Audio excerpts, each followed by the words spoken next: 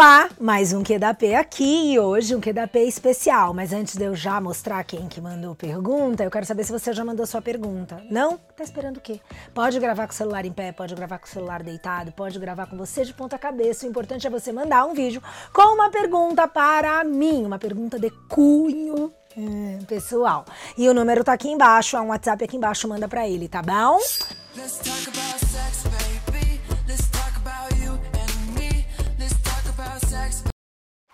Vamos lá. Quem mandou pergunta foi quem?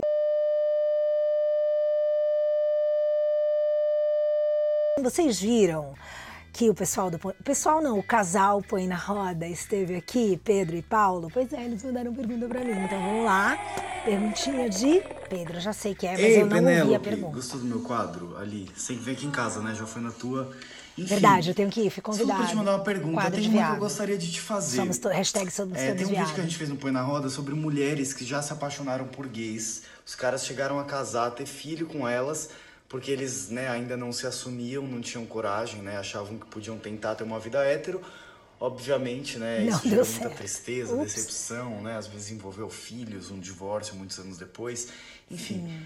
Mas essa história de mulheres que se apaixonam por gays é uma coisa meio comum. Eu queria saber, muito saber, do ponto de vista de uma mulher, o que, que você acha que faz com que tantas mulheres se envolvam com gays? E se você tem alguma dica aí para suas amigas mulheres, para que elas que elas não caiam nessa cilada, né? Não sei, o que, que você acha? Beijo. Ai, Pedro lindo, obrigada pela pergunta. Bom, vamos lá. Primeiro, acho que a minha primeira paixão, ou uma das minhas primeiras paixões, isso eu tô falando da minha tenra infância, é, vai, bi, né? Porque casou, casou com mulher, enfim. David Bowie, muito amor, uma das minhas primeiras paixões, como eu falei. Ah, e ele já tava lá na capa do disco vestido de mulher, e eu era assim completamente apaixonada por ele desde pequena. Na minha pré-adolescência, fui apaixonada por uma bichinha também linda, André. Eu devia estar o quê, gente? Na sexta série. Ele tava na sétima série, ele era lindo, loiro, um gatinho, lá em Salvador, antes de eu morar em São Paulo. E eu lembro nitidamente, assim, muito claramente, que eu percebi em algum momento, depois de ter me apaixonado por ele, que daquele mato não ia sair coelho, sabe? Não ia. E, e eu tinha um enorme carinho por ele, ele também me amava muito, era nítido o carinho. E, enfim, eu tratei de curar essa paixonite aí. Aí depois eu tive uma outra paixão também por um cara que é gay e me pegou. Não vou revelar, porque pode haver gente que conhece e a gente se pegou muito, mas é engraçado, é por isso que eu não vou falar, porque na época eu acabei descobrindo, eu tinha 16, tá? Eu acabei descobrindo que ele achava que eu não sabia que ele era gay. E eu falava pra esse amigo dele, mas é óbvio que eu sei que é viado, gente. E eu tava felicíssima por estar pegando ele, porque eu era mega apaixonada e a gente se catava muito, até que um dia ele não tava muito bem e era fim de balada e ele não tava num estado assim, sabe, quando você percebe que a pessoa tá fugindo da realidade. E aí me pegou mais pesado, eu dei carona pra ele. E a gente, ele queria que eu entrasse na casa dele. Eu senti que aquele dia, se eu quisesse dar, eu poderia ter dado pra ele. E o que que eu fiz? Muito sabiamente, pros meus 16 anos, de novo, meu alerta. Falou, cara, pra que que eu vou dar pra esse cara? Eu já sou afim dele, eu já sei que ele é gay. Para eu já tô apaixonada, eu ainda vou trepar. Vai que vai ser incrível. Como é que eu esqueço depois, gente?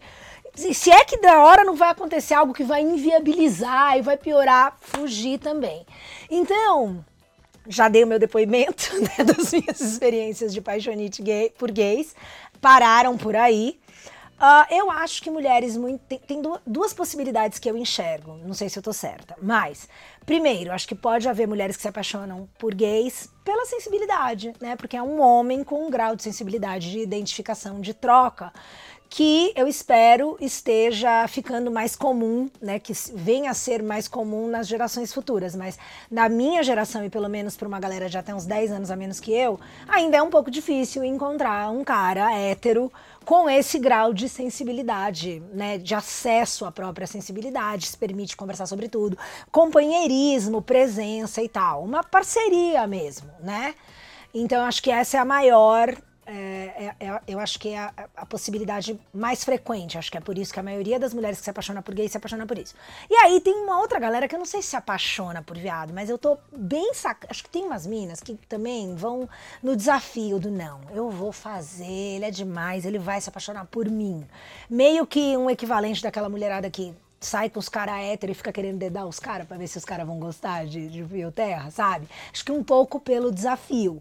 Pode ser também certo? Mas eu concordo com você, tá, Pedro? Melhor não perder esse tempo valioso. Muito embora, por último, mas não menos importante, minha mãe tem um amigo há décadas que é viado, sempre foi viado, gente. A definição de viado na minha infância era Manuel. Manuel, meu amor, Manuel casou com uma mulher de depois, já era gay o suficiente, tá? Não é que, e também não é que ele mudou de time, não. Ele casou com uma mulher, ele queria ter filho. Eu não sei Manuel mora na França hoje, mas eu sempre quis perguntar, vou ver se eu arrumo um jeito de visitá-lo, né, para saber se Manuel, nessa época que ficou casado, teve filho, é possível que Manuel não dava aquele cu. Agora dava ele aquele cu para a mulher dele somente, a mulher dele sabia e autorizava ele. São tantas perguntas que isso pode ser um outro que da P, não é mesmo? Obrigada, Pedro, pela pergunta. Hum, obrigada por tudo. Adorei o nosso troca-troca.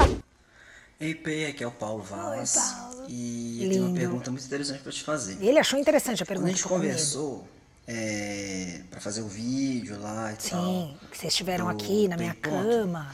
Você rolou essa intimidade, que lá vem já bomba. Tinha, já teve experiência com mulheres, Já. já tinha chupado uma chota. Já, já chupei algumas Mas receitas. preferia uma rola e tudo Prefiro, mais. Aí prefiro. vem minha pergunta. Já que você gosta muito de rola, você namoraria uma mulher trans? No caso, uma mulher trans com pênis? Tchauzinho. Ah, Então, cara, eu já pensei nisso, porque ultimamente a gente, eu, aliás, eu sempre tô curiosa, né? Tô sempre considerando novas hipóteses. E aí, diante de novas possibilidades, eu costumo fazer esse exercício aí de questionar se sim, se não. Eu não vou dizer que não, porque eu não digo, ah, eu nunca isso, porque eu já tenho idade suficiente para saber que a gente não sabe o dia de amanhã. Porém, nessas vezes que eu parei para pensar, eu acho que eu realmente me atraio pela figura associada, não sei mais como falar, ao gênero masculino, sabe? Então, a pegada, tipo, é muito. Vamos responder isso de uma maneira bem direta? É mais fácil eu pegar você, Paulo, porque, tipo, me dá mais vontade a figura, apesar de não ter pau. Daí a gente entra nesse outro problema, entendeu? Então não é só do pau. Eu realmente falo, ai, gosto de rola, porque sim, gosto de rola. Mas eu gosto do homem que tá por trás da rola também, entendeu? Me desperta mais vontade do que menina. Eu não tenho esse tesão de é, carinho. Por mais bonitas, às vezes gostosas e tal, mesmo que eu olhe e fale, nossa, tem algum desejo ali, no geral, meninas me despertam carinho, amizade, parceria, cumplicidade. Mas sexo mesmo, sabe, luxúria, meu, é comigo, é com, é com macho. Entendeu? Respondi? Então tá. Até o próximo QDP. Let's